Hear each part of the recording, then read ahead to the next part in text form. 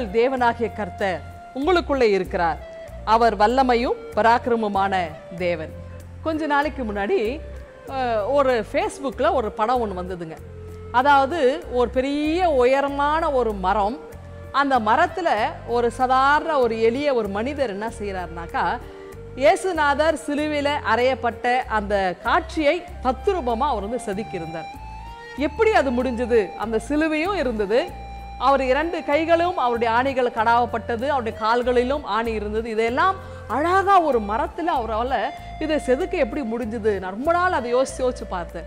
எப்படி இந்த ஞானம் வந்தது? எப்படி இந்த ஒரு மரத்தில் இப்படிப்பட்ட அத்தனை அம்சங்களும் கொடுத்து ஒரு உயிருள்ள உயிரோட்டமுள்ள ஒரு நிகழ்ச்சி எப்படி அதை காண்போருடைய மனதை கவரும்படியாய் இவரால் செய்ய முடிந்தது அப்படின்னு யோசிச்சுட்டு இருந்தாங்க. அப்போது ஒரு சிற்பி கிட்ட இப்படிதான் ஒருத்தர் என்ன செய்கிறான் இப்போ கேட்டாராம்.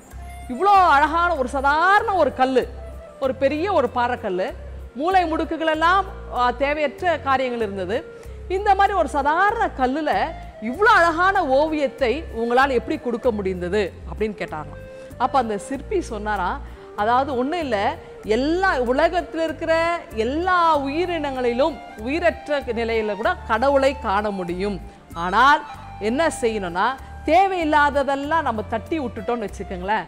அழகான அந்த காட்சியை நம்ம காண முடியும் அப்படின்னாங்க அப்போ இந்த மரத்தில் அந்த இயேசுவினுடைய சிலுவையும் இயேசுவும் அந்த அழகாய் வரைந்த நபரும் தேவையற்ற காரியங்களை செதுக்குனாரு.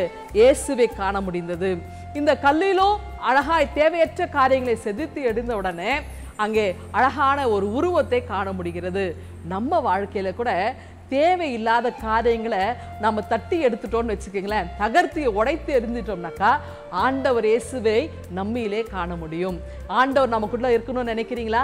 இயேசு என்னோட உள்ளத்தில் என்னாலும் வா வாசம் செய்ய வேண்டும் என்று விரும்புகிறீங்களா கவலைப்படாதீங்க. தேவையற்ற காரியங்கள் பாவமான காரியங்கள் உலக பிரகாரமான காரியங்கள் வீணான சிந்தனைகள் எல்லாத்தையும் உடைத்தெறிந்து விடுங்க. எல்லாத்தையும் தகர்த்தெறிந்து விடுங்க. இயேசு உங்களிலே வாசமாய் இருப்பதை நீங்கள் உணர்ந்து கொள்ள முடியும். இந்த சிந்தனையோடு இந்த நாளை துவங்குங்கள். கடவுள் உங்களை வழி நடத்துவாராக. எங்கள் நல்ல ஆண்டவரே இந்த உலக பிரகாரமாய் நாங்கள் வாழாதபடி ஆவியானவர் நீர் எங்களை எடுத்து பயன்படுத்துவீராக. எங்களிடத்தில் இருக்க தேவையற்ற சிந்தனைகள் ஆண்டவரே தேவையற்ற காரியங்கள் பாவமான காரியங்கள் இருப்பின் எல்லாவற்றையும் நாங்கள் அதை விட்டுவிட தகர்த்தெறிய இந்த நாள் எங்களுக்கு துணையாக இருக்கட்டும். இந்த நாள் எங்களுக்கு ஆசீர்வாதமாய் அமையட்டும். அதன் வழியாய் உமை நாங்கள் கண்டு ஆண்டவரே உமக்கு சாட்சியாய் விளங்க நிற்கிருபை தருவீராக. மீட்பர் இயேசு கிறிஸ்துவின் வழியாக வேண்டிக் கொள்கின்றோம் எங்கள் அன்பின் கடவுளே. ஆமேன். ஆண்டவர் உங்களை ஆசீர்வதிப்பாராக. ஆமேன்.